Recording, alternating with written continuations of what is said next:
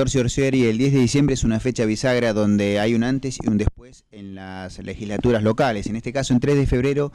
¿qué va a significar esa fecha? Bueno, va a ser un nuevo cambio de, concejales en la, estructura de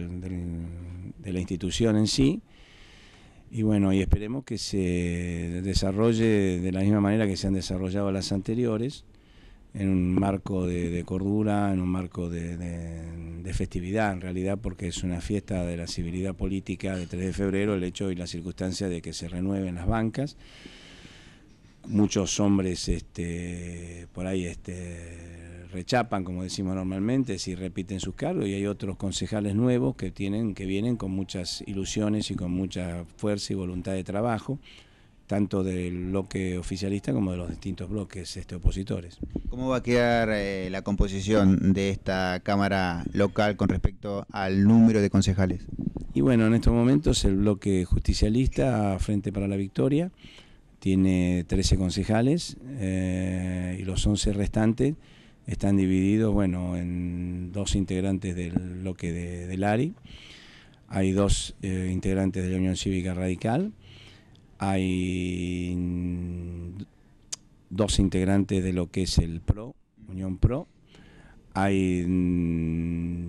dos integrantes, o tres integrantes, mejor dicho, de lo que es eh, el Partido Federal o, o, bloque, eso ahí todavía no tengo definido con exactitud cómo va a ser el título del bloque, pero creo que va a ser bloque federal. Hay una concejal que tiene un bloque aparte separado, que es el caso de Lucía Britos, tiene un bloque aparte.